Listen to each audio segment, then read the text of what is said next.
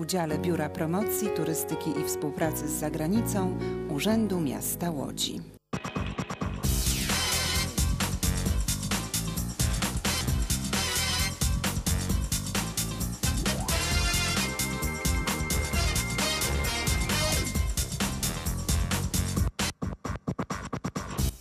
Witamy Państwa w strefie piotrkowskiej, w miejscu, które stało się, jak Państwo widzą, największą y, suszarnią na pewno w Polsce. Dlaczego? Odpowiemy y, na to pytanie w naszym y, programie. Ale zanim to, to najpierw o zmianach, które w najbliższym czasie czekają ulicę Piotrkowską i to ważnych zmianach. Być może wreszcie skończy się problem z pędzącymi po ulicy samochodami.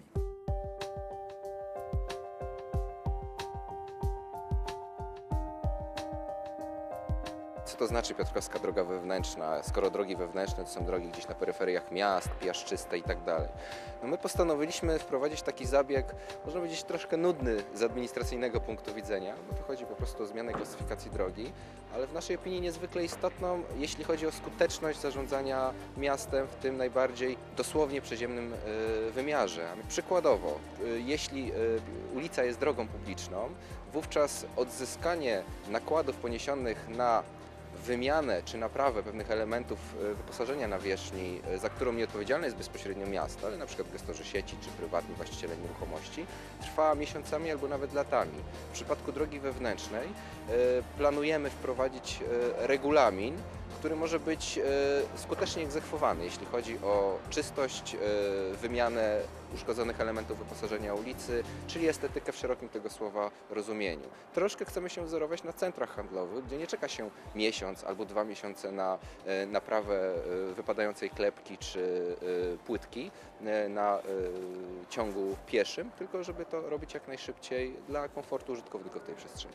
Z chwilą, kiedy dostajemy status ulicy drogi wewnętrznej, to my decydujemy, w tym momencie już urząd decyduje, czy komuś wydzierżawimy jakąś część tejże drogi pod określoną y, inwestycję, reklamę, czy, czy nie. Wreszcie to, co mnie się marzy osobiście, żeby ogródki znalazły się przy fasadach budynków, żeby miały charakter takich ogródków, jak funkcjonują w innych y, krajach, tam gdzie skąd tak naprawdę wzięła się moda ogródkowa, czyli we Włoszech, we Francji, żeby ten ogródek przedłużyć niejako też jego możliwość żywotności, bo jeżeli uda nam się zainstalować jakieś, postawić lampy grzewcze, to nic nie stoi na przeszkodzie, żeby ten ogródek, będąc niejako wzdłuż, y, wzdłuż y, danej witryny, danej y, restauracji, czy, czy, czy pubu, czy kawiarni, mógł praktycznie funkcjonować cały rok. To miejsce, w którym się znajdujemy, to nie tylko wspaniała historia klubowej Łodzi, ale także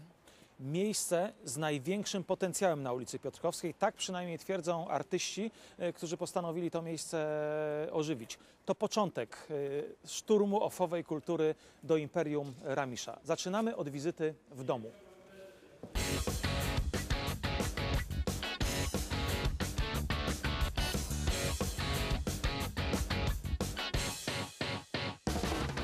Znajdujemy się w nowym klubie, który właśnie powstał w Łodzi, nazywa się Dom. Adres Piotrkowska 138, łamane chyba przez 140, czyli dawnym Zagłębiu Chińskim. Było, wszyscy znają tą bramę, kiedyś to był Alcatraz, czyli właściwie pierwszy taki duży i, i, klub techno chyba w ogóle w Polsce, a w Nowo Łodzi wiadomo, że na pewno.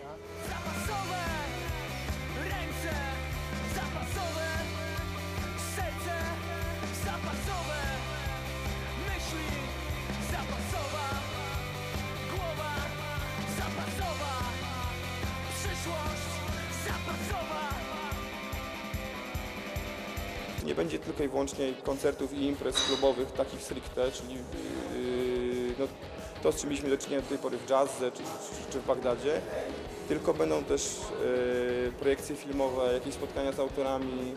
Yy, no, jesteśmy ogólnie otwarci, bo to jest to, to miejsce, czyli dom, jest otwarte na, na, na wszelkie jakieś takie inicjatywy osób, które przyjdą do nas z zewnątrz, zaproponują coś fajnego. Przestrzeń jest, jak widać, na razie może nie widać, że ona jest ładna, bo jeszcze tu jest dużo rzeczy do zrobienia, w sensie malowania i tak dalej ale przestrzeń jest jakby taka, yy, no dużo tu się może wydarzyć.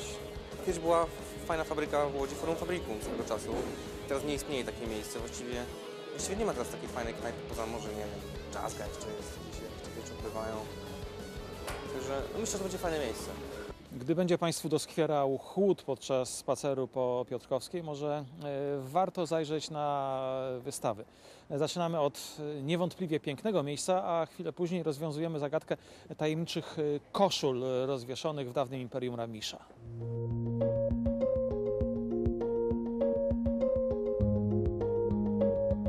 Dzisiaj jesteśmy w budynku, który spełniał różne funkcje. Był tutaj targ żydowski, drukarnia, a dzisiaj jest Galeria Sztuki Współczesnej. Galeria powstała w 2003 roku i jest uważana za jedną z najlepszych polskich prywatnych galerii sztuki. Atlas Sztuki jest galerią na światowym poziomie. Dzieła prezentowane tutaj były wystawione w takich galeriach jak Tate Gallery czy Muzeum Guggenheima. Kolekcję Enrika Marksa możemy podziwiać do 30 grudnia i między innymi zobaczyć ten energetyzujący obraz Ryba na plecach Adriatyku.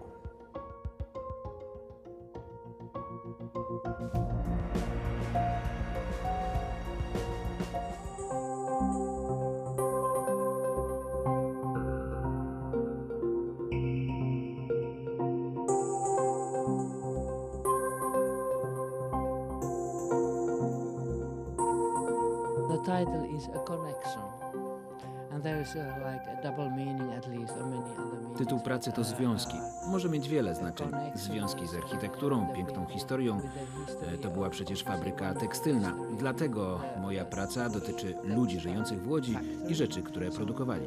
Is talking about textiles and uh, about uh, the people in Łódź. So from the beginning, uh, the, the idea came from the low participation in the European Projekt Stany Zjednoczone Europy powstał w Parlamencie Europejskim w 2009 roku. To artystyczna próba stworzenia forum komunikacji dla wszystkich mieszkańców Europy.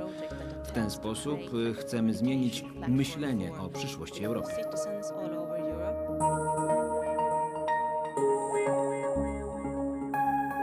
Zapewne nie ma mieszkańca naszego miasta, który nie marzyłby o łodzi filmowej, żeby na Piotrkowskiej ekipy filmowe e, były praktycznie co e, skrzyżowanie. Są takie nadzieje za sprawą e, serialu Komisarz Alex. Wybierzemy się na plan tego serialu i zastanowimy się, czy filmowcy będą wracać dzięki temu filmowi na Piotrkowską.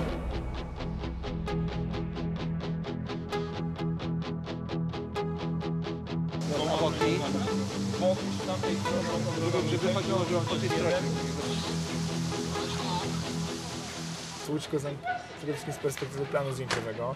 Eee, no ale polubiłem ją, wracam już po każdym do, do Łodzi i, i, i czuję się coraz lepiej. Znaczy, może nie jak w domu, bo, bo nie tu się wychowałem, ale, ale, ale jest fajnie. Jest, jest, jest jakiś rodzaj uśmiechu, gdy pojawia się ta bramka i, prostu jedziemy i zaczynamy pra- pracę. A Piotrkowska kojarzysz, byłeś od... Oczywiście, że ko- każdy kojarzy Piotrkowską, natomiast e, czy pytasz mnie, czy byłem tam wieczorem? Nie, niestety nie byłem wieczorem na Piotrkowskiej. Jeszcze, jeszcze się nie udało.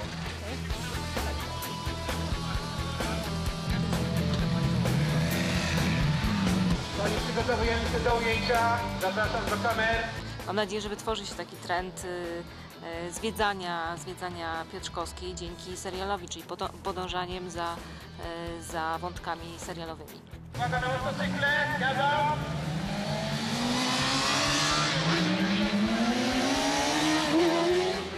Nie tylko sama Piotrkowska, ale i podwórka, y, które są, cieszą się du- dużą popularnością wśród y, ekip filmowych, czy ulica Moniuszki, czy, czy Roosevelta, także to są, to są te miejsca, które, które już teraz y, często odwiedzane są przez ekipy filmowe.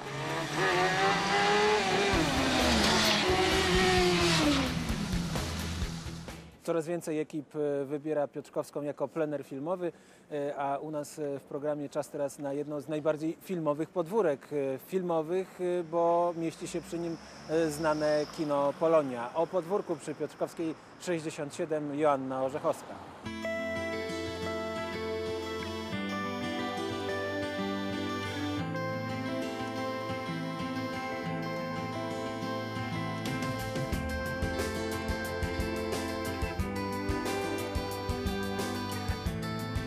Zacznijmy może od y, roku 1877, kiedy to na tyle podwórka y, powstał Teatr Wiktoria.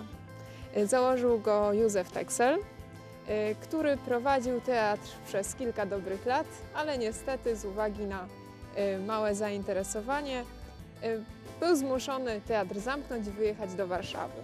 Do dzisiaj pod adresem przy Piotrkowskiej 67 można zaczerpnąć rozrywki, e, bowiem znajduje się tu dalej kino Polonia. E, jakie kino było wcześniej? Kino bardzo eleganckie, jak mówiły afisze, rendezvous towarzyskie, kino Casino 1911 to rok, kiedy kino to zostało otwarte. Co takiego zaskakiwało Łodzian w, te, w kinie Casino? Ano, pierwsze w Łodzi samo składające się fotele.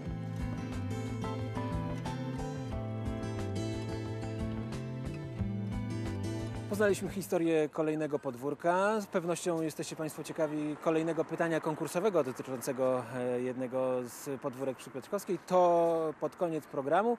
Wcześniej, bo już teraz, y, odpowiedź na pytanie z poprzedniego odcinka e, i wspomnienia operatora, e, który filmował wizytę gościa, którego to pytanie dotyczyło.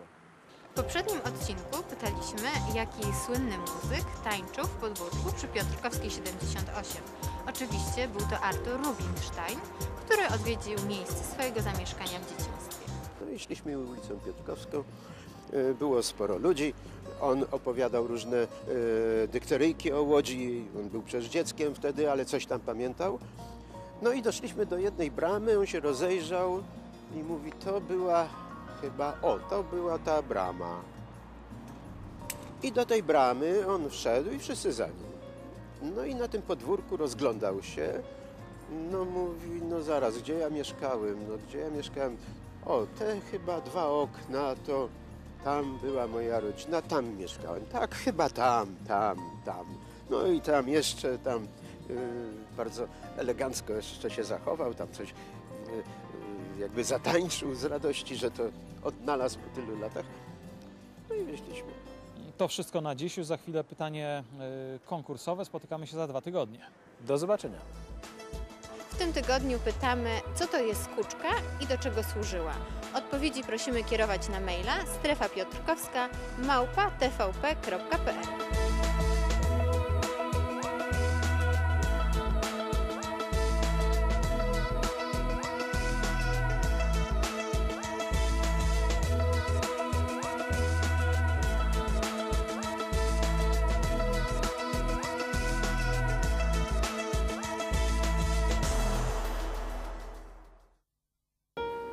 Program powstał przy udziale Biura Promocji, Turystyki i Współpracy z Zagranicą Urzędu Miasta.